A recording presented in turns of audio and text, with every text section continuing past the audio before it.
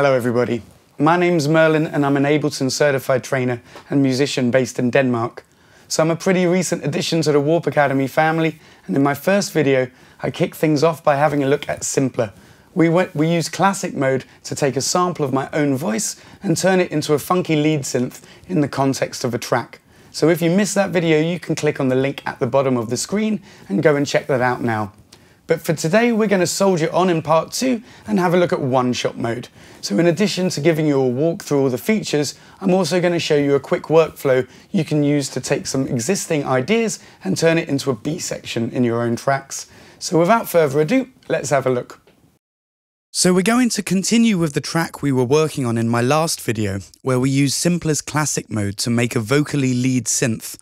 So I wanted to add a B section, and although my first thought might be to go browsing through my sample library and find a new sound, I really like to repurpose the sounds I already have in my arrangements and jam them out into new patterns or ideas. So Simpler makes this really easy to do with one-shot mode. Let's have a quick listen to what I've done, and then I'll show you how I made it.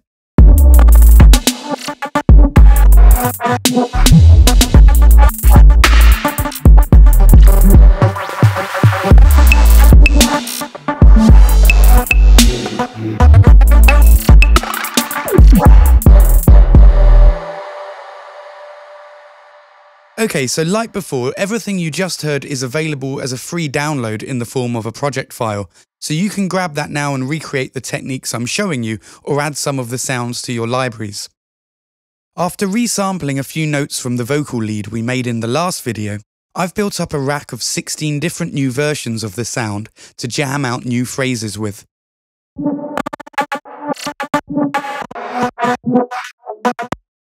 Let's start building a rack like this from scratch.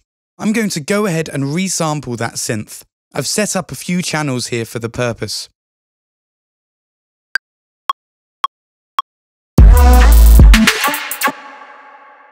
Let's drag this new sample onto an empty MIDI channel, which will automatically open a new instance of Simpler. Now, one-shot mode is geared towards triggering samples.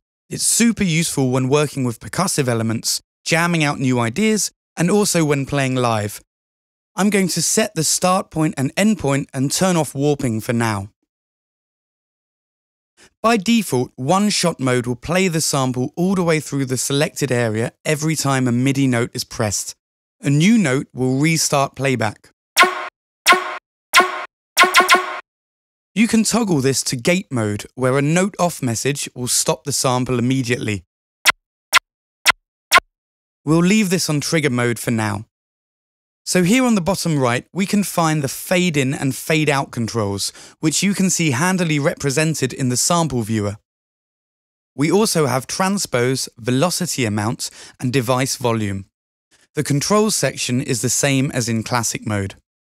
Now that I have the sound tamed, I'm going to go ahead and add a drum rack to a new MIDI track and drag my simpler sound onto the first cell.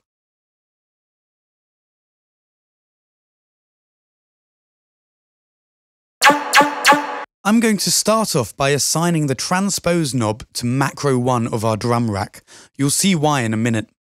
I'm going to make sure that the range is between minus 12 and plus 12. Next, I'm going to copy this sound into the next cell by holding down Option if you're on a Mac or Control if you're in Windows and dragging and letting go. Now let's make this a really short plucking kind of sound, selecting a smaller play area and turning the fade out up.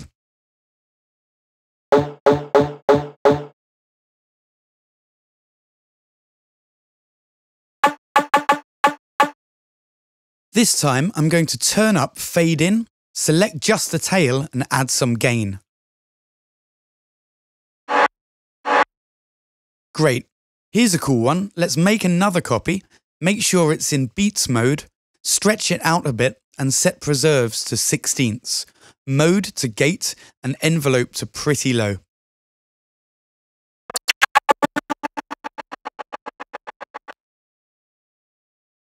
So as you can see, this is quite the rabbit hole, hours of fun to be had exploring here. You can, of course, go further and add effects and processing to the individual cells of your drum rack. So let's fast forward then and go back to the rack that I made before. Here's another little trick you can do. Adding all the sounds to the same choke group will make sure that only one cell is ever playing. This can be a great way to control your tails if you have some longer sounds that clash with others. So as you can see, I've automated our transpose macro knob across the timeline to keep the samples in key with our track. Okay, so let's turn back on that little jam I had earlier and listen to the result in context one last time.